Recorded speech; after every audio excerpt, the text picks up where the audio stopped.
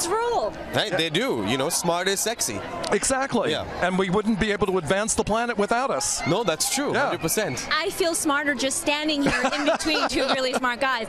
Now, one of the newest categories that you're up for is sort of favorite romance on screen. Oh, right. How do you guys sort of keep the romance alive on set? Uh, well, we work uh, a lot on it offset. Uh, a lot of uh, late afternoon naps, if you know what I mean. Yeah, naps, right. No, you know what? We've we've had wonderful chemistry uh, since the beginning, and we're just as good friends offset as we are on set, and it's it's it's a family. So we're very very blessed to be working together.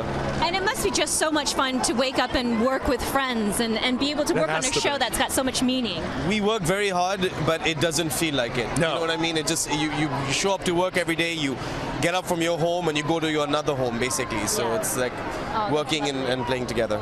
And did you ever dream when you first read the script that the show would be the tremendous I mean, you always dream about it, but you have no idea. You have no You know what I idea. mean? You never think, oh my God, I'm going to be on a hit show when you read the script. You just think, I hope I don't get fired after the first read through. and then, you know, even now, I show up to work and, and everyone tells me, oh my God, 20 million viewers and it's the Yeah. most popular comedy all over the world and all this stuff.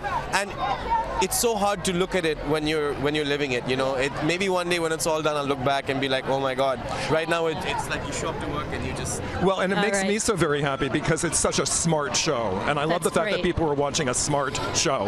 And by the way, you stepped into our 360 uh, fashion Oh, cam, I did. looking quite sexy. By the way, what do you what do you think, Tim, of, of, of his his fashion vine here? I oh. love Kunal's fashion That's great. under any circumstances. Thank you. Because it's all about you and what you resonate as an individual. That and that's really means a lot, profound Tim. and Thank you. beautiful.